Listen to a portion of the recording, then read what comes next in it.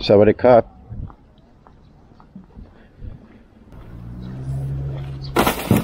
Joo, töihin on mentävä.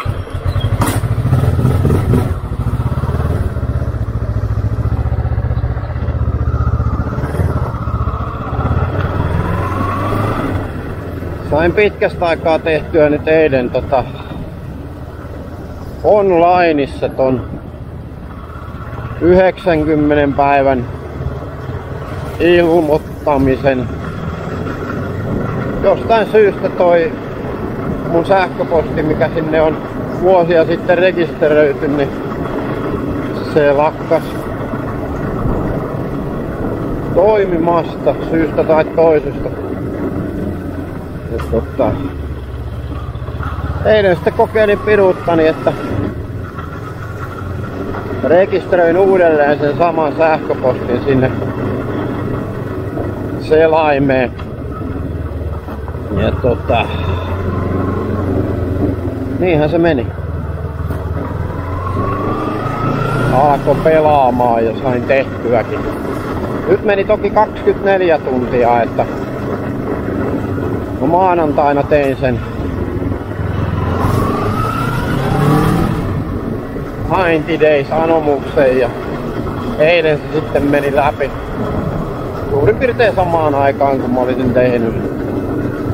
Varmaan kun ei ole pitkää aikaa onlineissa tehnyt, niin sitä katsottiin varmaan vähän tarkemmin, tarkasteltiin tai jotain muuta, Mulla oli pitkä aika, varmaan kaksi vuotta etten käynyt immigraatiossa ollenkaan. Tein aina onlineissa.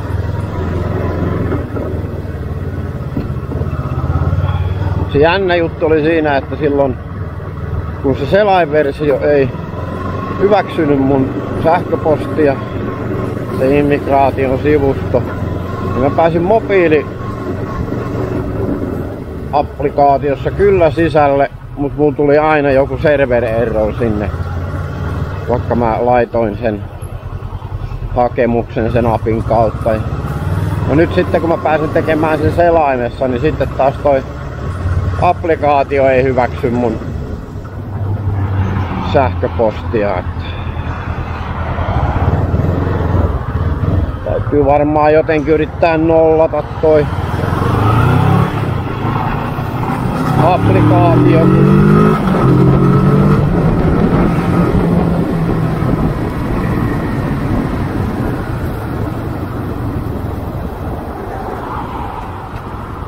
Ihan kun olisi tullut vähän vettä.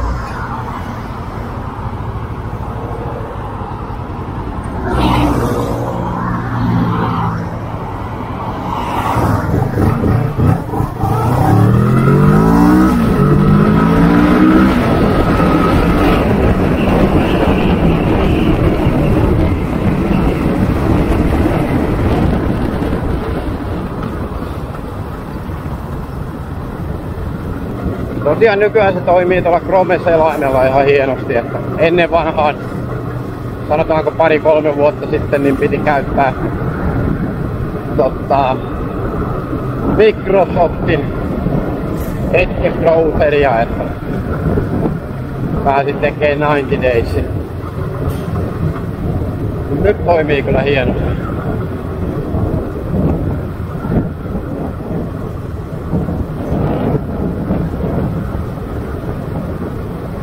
Tulee vähän vettä.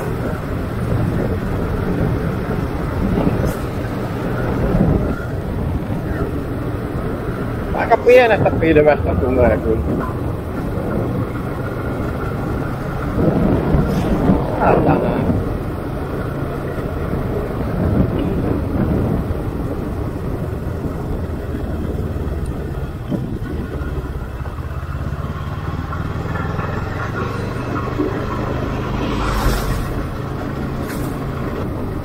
nähdä joutuuko heittää sadettakin päältä.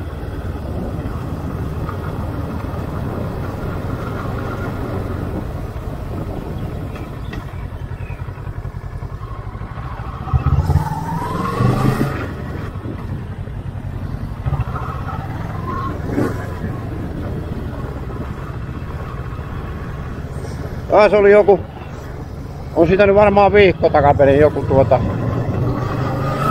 linja-auto jäänyt juna alle ja kaikki kuollut. Ja sitten oli vielä joku nukahtanut jossain vaiheessa niin junaradalle ja molemmat jalat poikki, kun juna mennyt yli.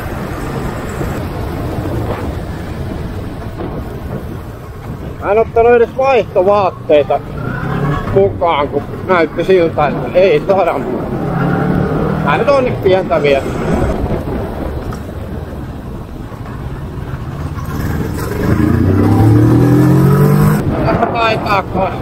Kokonaan.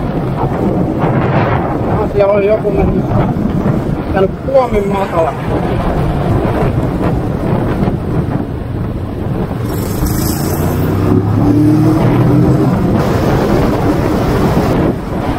On hyvä kun ne pitää tätä kättä edessä kun sataa vettä. Ei voi pitää kypärää, että näkee jotain.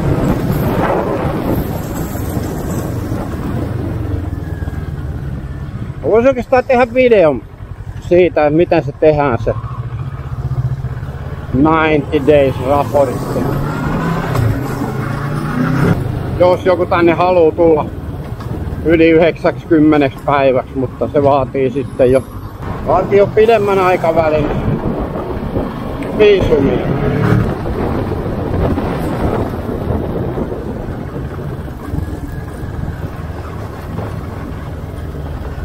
Tähän toi jäi tonne keskelle.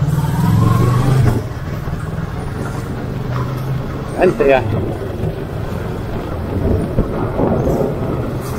Eli sellaisten täytyy tehdä toi 90 days, jotka on täällä yhtäjaksoisesti yli 90 päivää. Eli turistiviisumilla voi olla 60 plus 30 päivää. Eli se on, normi on 60 päivää turistiviisumilla. Siis pitää vaan käydä näyttäytymässä immigraatiossa ja ne laittaa sen 30 päivää siihen lisää. Se on ihan sellainen simppeli. Ei tarvii murehtia mistä 90 day reportoinneista. Lähinnä tommoset, jotka on työviisumilla täällä niin kuin minä ja, ja, ja sitten tommoset opiskelijaviisumit ja Mä en tiedä onko se vielä, jos, jos on toisessa firmassa kuin voi, voi sertifioidussa firmassa, niin joutuisi käydä rajalla ottaa 90 päivän välein leiman, mutta mä en, mä en tiedä onko se. Mä en oo poistunut maasta viiteen vuoteen ja kuuteen kuukauteen. Vähän reilu.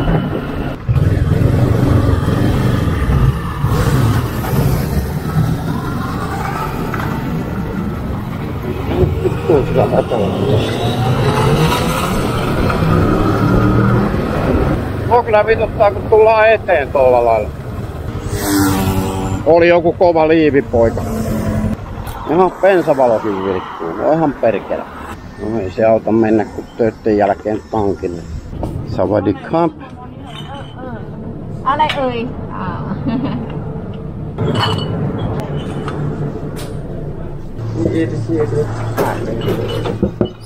อยู่รอกล้ามเลยค่ะ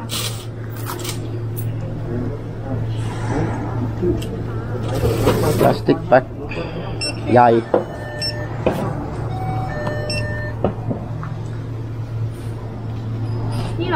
Mm.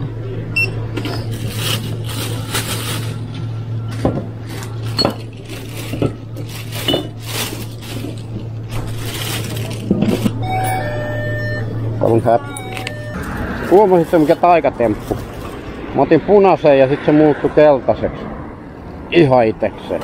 Täytyy varmaan vaihtaa alaa tonne taikuripuolelle.